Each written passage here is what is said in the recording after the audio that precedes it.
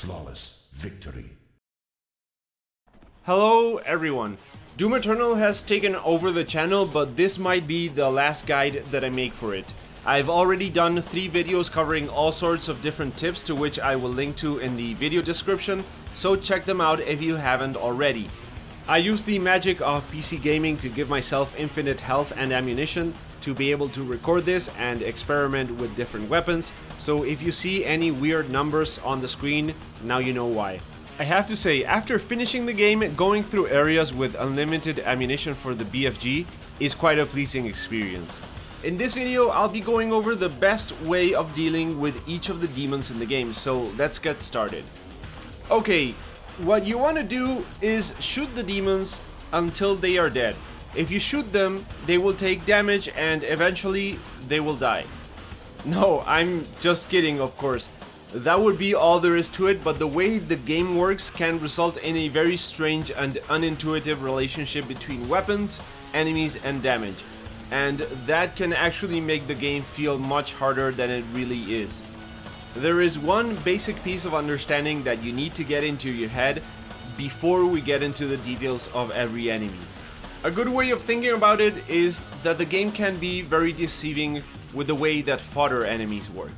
Some weapons can rip through fodder enemies in milliseconds and that will get you thinking that they will also deal a lot of damage to every enemy, right? Wrong. The best way to think about this is thinking about resistance style damage reduction. Fodder enemies have no damage reduction, but most enemies do. What that means is that even if one weapon should do a lot of damage, it's not going to do the same amount of damage to every enemy. So you need to switch weapons almost always when you fire at different targets. Say the last weapon you used is the plasma gun, which is a fairly powerful weapon, well, if a Cacodemon spawns, you might be tempted to just shoot at it with the plasma gun because it should take him down fairly easy. That is the number one mistake that you can make. Every time you're shooting at a demon with a suboptimal weapon, you're wasting both time and ammunition, and that makes the game much harder. Now, some of this information is in the game's codex, like how the chain gun is good against the Hell Knight, but it's definitely not enough. It offers some detailed tips on some enemies, but not all of them. Take the entry for Whiplash and Prowler demons. It's true that an ice grenade is a good way to stop these enemies from moving around so much, but what do you do if your grenade is on cooldown? Or if there are several of them, making it impossible to hit them all at once? You need several different ways of dealing with them, and that's what I'll be going over right now. First of all, fodder enemies. Yes, I know that there is really nothing to say here, but as I mentioned on my tips video, the most reliable way to get glory kills is shooting at them with the heavy cannon, so just keep that in mind. The Maker drones are the most unique ones, and as the codex says, keep them alive and headshot them when you need resources. Next, we have the Arachnotron, Revenant, and Mancubus, all of which have weapons that can be shot off using something like the heavy cannon's precision bolt or sticky grenades. You can also take them out using other weapons, but it will take much, much longer to do so. Once the weapons are off, you should switch to a heavier weapon like the chain gun or rocket launcher to finish them off. Or you can just use your plasma gun or super shotgun. The heavy cannon deals too little damage in regular firing mode and the micro missiles are just worthless against heavy units. You can get some headshots with the Mancubus and Revenant to deal additional damage with any weapon that you use, and you can shoot the armor off the legs of the Arachnotron, which seems to do a little bit more damage to it, but it's kind of hard to tell if there's much of a difference. I'll try and provide updates to all of this in the comment sections if there is any new information that crops up. You need 3 rockets to kill both the Arachnotron and the Mancubus, which is quite a lot given how easily they can be dealt with once they lose their weapon, and only one rocket to defeat the Revenant. Once the Revenant loses his weapons, he is pretty weak and you can usually take him out with one well-placed shot from the super shotgun as well.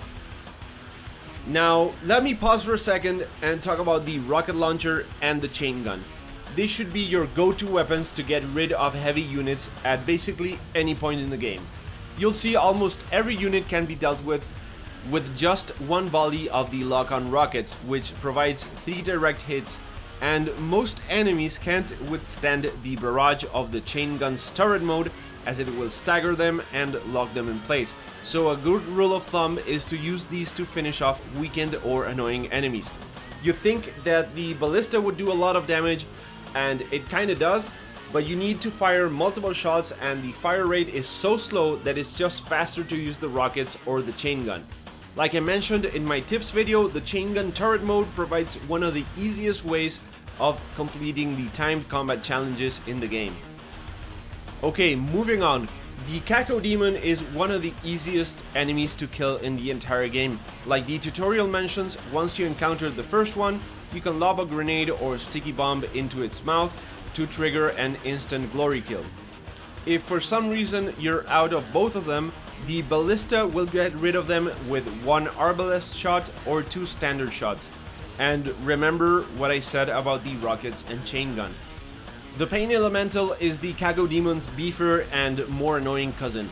They are extremely tough and take two Arbalest shots or around 3 to 4 regular shots from the Ballista. You'll also need around 5 rockets to take him down, more than twice what you need for the regular Cacodemons, which goes to show how beefy these demons really are. At that point, I would suggest you fire two volleys of locked on rockets, though the Arbalest is probably the way to go. Next up, we have some of the most annoying enemies that the game has to offer. The Prowler and Whiplash, as I mentioned earlier, are very hard to hit because they are constantly on the move and the Prowler can teleport around. If they get too close, they will bounce you around with their melee attacks, making them fairly tricky to deal with and pretty exasperating when you have a room full of demons to deal with. The codex says it's all cool though, just freeze them with your ice bomb. But these show up in packs and you can pretty much guarantee that you'll have at least one or two of them still alive after you've thrown your ice bomb. So what do you do? Well, the Prowler is actually incredibly weak, so you can just hook him with your super shotgun and blast him once to get rid of him. The Whiplash is another beast though. They are fairly tough and they will deal a lot of damage both at range and up close, so your best alternative to the Ice Bomb is to just lock on your rockets. Two rockets are needed to trigger a glory kill, so you're kind of, you know, wasting the third rocket, but hitting them individually with pretty much any weapon is extremely hard, and getting up close to use the super shotgun isn't very effective since you need to land at least two shots if not three and you'll be getting punished while you try and line up your shots. Pinkies and their cloaked brothers, the Spectres, can be fairly tricky. They are incredibly well armored in the front with the only weak spot being the tail. Now the tutorial mentions that you can jump over them when they charge and if you do, one shot from the super shotgun to the back is enough to take them out. But while you're in the middle of a combat encounter, it can be really impossible to pay attention to their charge, so an ice bomb will do the trick. Just drop it and dash around them to hit their tail. However, if you're out of ice bombs, there is still one more weapon at your disposal. The Blood Punch will destroy them no matter where you hit them. If you have neither your Ice Grenade or a Blood Punch charged up, I would loop around until you do or just you know, take out your trusty old chain gun turret mode. It will at least stop them from getting too close, even though it will take a lot of bullets to pierce that armor. Speaking of blood punches, you pretty much require one to deal with the Cyber Mancubus. One punch will destroy their armor and at that point they are pretty much just a standard Mancubus with non-destroyable arm cannons. Three rockets will take care of them, or you can use your preferred heavy weapon of choice. Next up, we have the Shield Bros, the Carcass and the Doom Hunter. The Carcass, which is incredibly annoying, will place shield walls which can be easily destroyed with your plasma gun, so just blast both them and their walls with the plasma gun until they are done. Other weapons will deal surprisingly little damage and they attack incredibly quickly at both medium to close range, so the plasma gun is by far the best option at your disposal. If you're desperate, one rocket is enough to kill them, but surprisingly they won't go down from just one shot of the super shotgun. The Doom Hunter is a tricky one. He has a shield over the top half of his body which can be taken out by using your plasma gun and once the shield is out you should switch to a harder hitting weapon and target his platform. Good choices for this are of course your trusty chain gun and the super shotgun or even the combat shotgun with the firing mode that makes it full auto. However, using that mode will make you basically stand still so it's not the best option and it's pretty hard to hit him with rockets and the lock-on won't target his platform but rather his body so again not the best choice. Make sure to make getting his sled destroyed a priority because his shields will regenerate if you're not quick enough.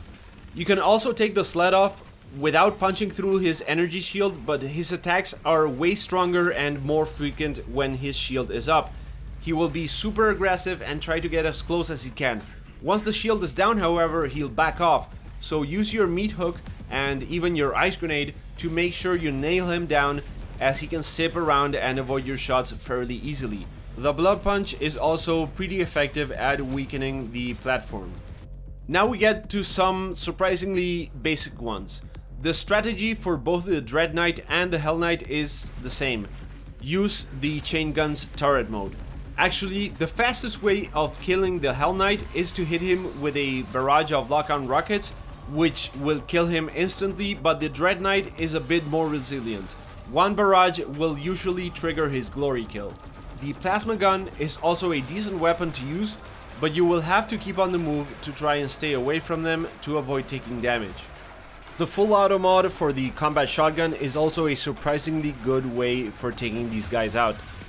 Now there's only the super heavy units left. The Baron of Hell is like a souped up version of the Knights, and he is almost equally as vulnerable to the turret mode as they are. However, one blood punch will instantly take out his armor and expose his fiery body. Once this is done, the turret will take care of the rest. Now, the Archvile is one of the nastiest demons in the game. He summons and buffs other demons and has hard-hitting attacks and is extremely tough to kill. And he can also teleport away from you. A Blood Punch will destroy his shield if he's using it and any demons that he's summoning while he's using it. But both with him and our next demon, we get into the category of just use whatever you have that hits the hardest. So if you have your Crucible of Doom, which is the one-hit sword that you get, just use that or even your Unmaker if you have it unlocked, to get rid of him as fast as possible.